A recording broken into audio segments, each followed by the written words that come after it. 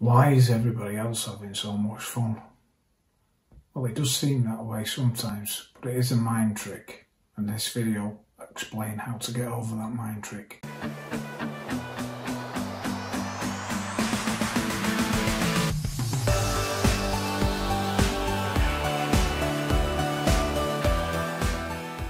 Hi, I'm Mike. Thanks for watching. Uh, so please, you could join me. Please like and subscribe, and you'll be notified of any videos coming up. So the other day I looked on Facebook to see if I could find some inspiration for a great blog post or video. And as I scrolled down the news feed, a sudden thought flashed across my mind. Why is everybody else having so much fun? I saw a former colleague on a night out having a great time. And I saw an old school friend on a great looking adventure and another old school friend looking like he was doing really well financially and was a good friend doing really well in his career. Happy smiley faces. Why are they having so much fun? And not me? And not me? Halt. Rewind. Now my psychological training and self-hypnosis kicks in and I catch myself and I mentally rewind and I replay the mental movie again. This time I mentally congratulate each of my friends. And I like, like, like. So what happened there? So for a moment I let the immature part of my psyche take over and instead of seeing joy and abundance out there in the world, I focused on scarcity. You see, it's not Facebook's fault. It was my fault. People only put their highlights on Facebook. They don't put the mundane stuff up. Imagine if they did. It'd be so boring and Facebook wouldn't make any money. And it's the same with celebrities when we compare ourselves to them. We don't see the years of practice they put in behind the scenes to hone their skills. Also, we don't see the hours they spend in makeup don't see the monotonous work they put in at the gym.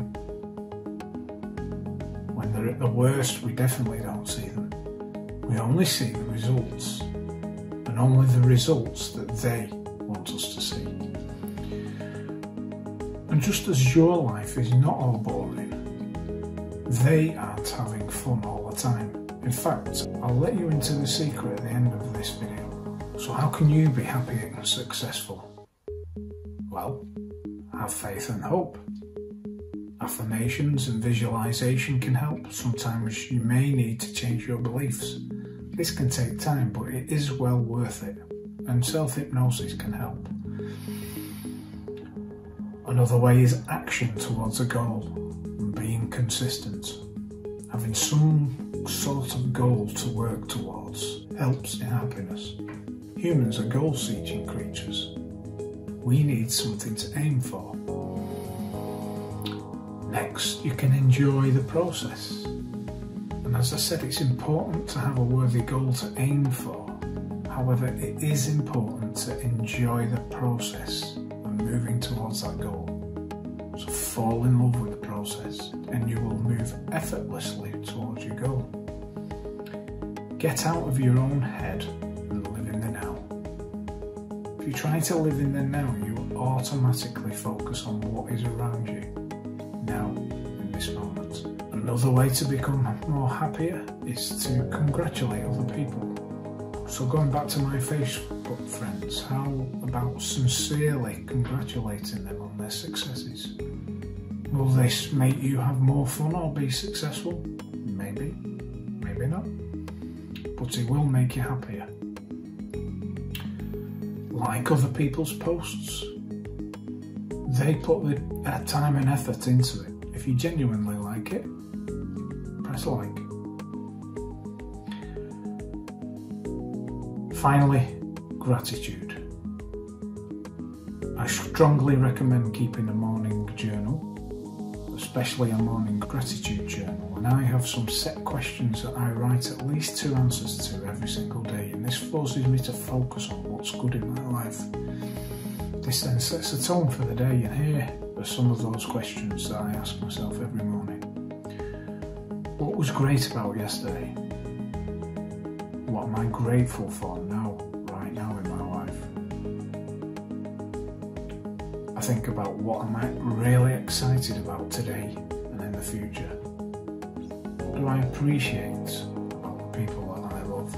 So, how could doing all this make you more happy and successful? First, it changes your immediate mood. Then, as you repeat it, it becomes a habit. Your outlook on life starts to change, and as your outlook changes, you become more positive and confident. Try things that you might not have done before. You make braver decisions. This is when you start to see tangible results in your life. Then you might find that people look at you and say how lucky you are. So, getting back to my little secret that I mentioned before about your friends on Facebook,